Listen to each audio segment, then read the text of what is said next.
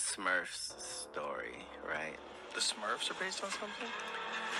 Well, um, religious people would say, oh, you can't watch the Smurfs because it's bad because they have witchcraft and stuff in there.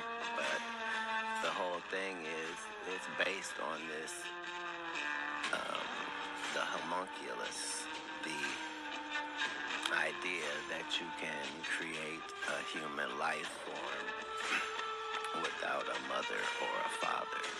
So, Really? That's what the Smurfs are based on? what what two Smurfs do you think got together Smurf and had Smurfette? She was the only female of the Smurfs. So, It's a good question. well, it's not a question in the Smurfs. They tell you. They tell you that um, Gargamel made Smurfette. All right, long time coming. Angry Smurf. Nah, fuck all that, bruh. First off, you ain't got nothing to do with me, Papa Smurf, Smurfette, or uh, Op Gargamel. You ain't got nothing to do with none of that, bro. Why you talking about what you speaking on us for, bruh?